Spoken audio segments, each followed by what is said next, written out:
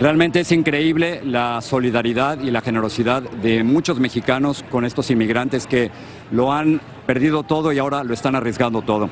Esta mañana tuve la oportunidad de ir a la frontera entre México y Guatemala. El puente entre los dos países está cerrado por el gobierno del presidente Enrique Peña Nieto, quien muchos han acusado de convertirse en la policía migratoria de Donald Trump pero parece ser que ese cierre del puente es como un mensaje solo para Donald Trump para que él se la crea. Pero a un ladito hay unas barcazas que siguen pasando a miles y miles de inmigrantes y el gobierno de México no hace absolutamente nada por detenerlos. Quiero mostrarles lo que yo vi esta mañana. El gobierno del presidente Enrique Peña Nieto ha sido acusado de convertirse en la policía migratoria de Donald Trump.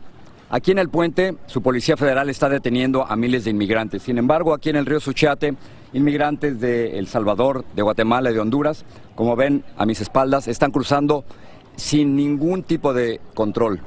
Nadie se explicaba cómo es posible que 7.000 inmigrantes centroamericanos hayan podido cruzar hacia, hacia México. Es muy fácil, a pesar de que la policía estaba deteniéndolos aquí en el puente, se vinieron al río Suchate y lo cruzaron con niños, con bebés. Yo he visto bebés de ni siquiera un año de edad cruzando con los padres. Acabo de ver a cuatro agentes de la Policía Federal Mexicana del lado mexicano y no están haciendo absolutamente nada para detener el paso de inmigrantes.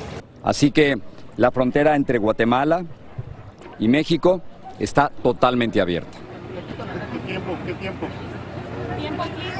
Bueno, y esto es exactamente lo que está ocurriendo allí en el río Suchiate entre México y Guatemala. Al final quiero que se queden con la imagen de una, de una niña de ocho meses que vi y de un niño de cuatro meses que vi, la imagen de todos estos inmigrantes, para que ustedes le puedan poner cara a lo que está ocurriendo con esta enorme y terrible crisis humanitaria. No es lo que muchos están escuchando en los Estados Unidos.